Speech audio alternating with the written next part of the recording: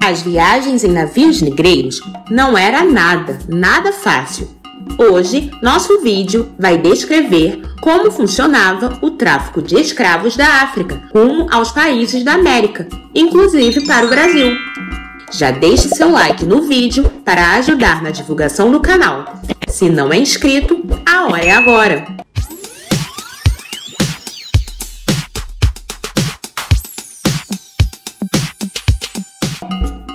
Os navios negreiros eram embarcações que serviam para transporte de negros que seriam escravizados na América, vindos especialmente da África.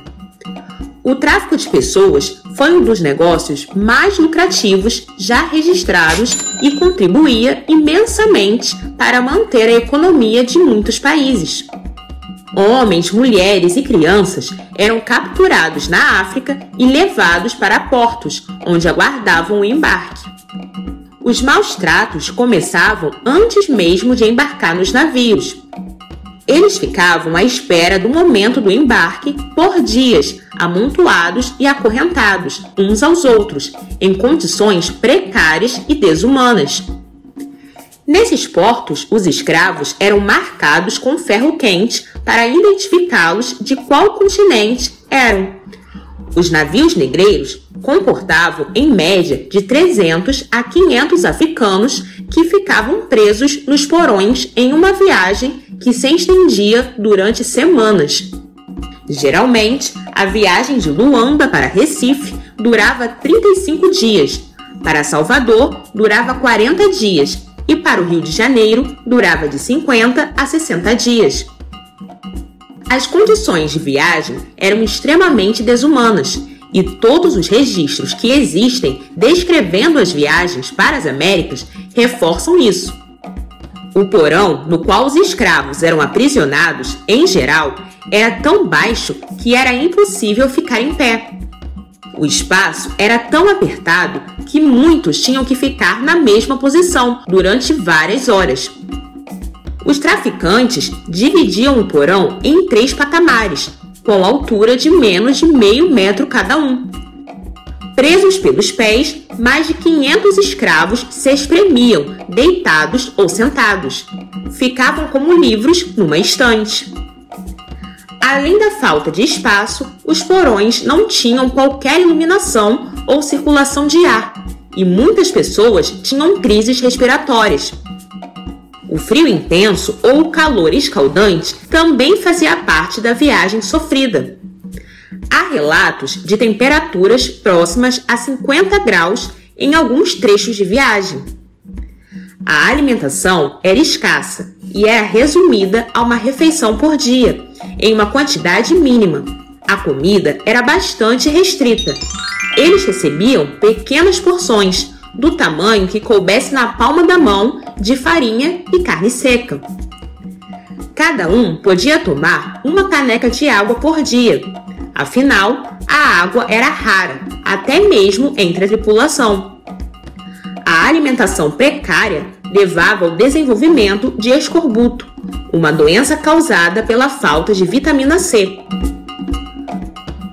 Como se não bastasse a falta de alimento nesses porões, não havia qualquer esquema de saneamento básico. Isso quer dizer que as pessoas urinavam e defecavam no mesmo espaço, onde comiam e dormiam. A cada viagem era permitido que os próprios escravos lavassem os porões a cada 15 dias para amenizar o mau cheiro. Para isso, usavam água do mar, que depois formava uma fina camada de sal no chão do porão. Com o passar do tempo, a exposição do corpo àquela situação degradante acabava transformando os porões do navio negreiro em um foco disseminador de epidemias. Doenças de todo tipo, como varíola, sarampo e infecções gastrointestinais, eram as maiores causas de epidemias a bordo. Por causa disso, em cada uma dessas viagens, cerca de um quarto dos escravos morriam. Mas, infelizmente, as mortes não eram somente por doenças. Os navios negreiros carregavam escravos capturados de diferentes tribos. Isso significa que pessoas de tribos inimigas poderiam fazer essa viagem juntos, o que gerava brigas e ocasionalmente assassinatos entre eles. Esses homens e mulheres eram tratados como uma mercadoria e passavam por todos os tipos de humilhação e maus tratos. Muitos negros, sob extrema situação de estresse e humilhação, tiravam a própria vida e seus corpos poderiam permanecer por dias no mesmo local que os vivos. Dessa forma, para que o número de escravos mortos durante a viagem diminuísse, alguns marinheiros organizavam pequenos grupos que circulavam pelo navio para se exercitar e tomar um pouco de sol. Mas na cabeça dos escravos, os brancos recolhiam os negros para dentro da embarcação com o intuito de comer sua carne durante as viagens. Por isso, muitos pulavam no mar quando eram levados para o passeio fora do porão. Eles acreditavam que, quando eram levados para fora, seriam comidos. As rebeliões eram frequentes e algumas revoltas resultavam na conquista da embarcação pelos escravos. Outras, porém, acabaram com a morte de todos os escravos rebeldes, cujos corpos foram lançados ao mar. Após mais de 40 dias de viagem, os escravos chegavam na América com o estado físico e mental fortemente destruído.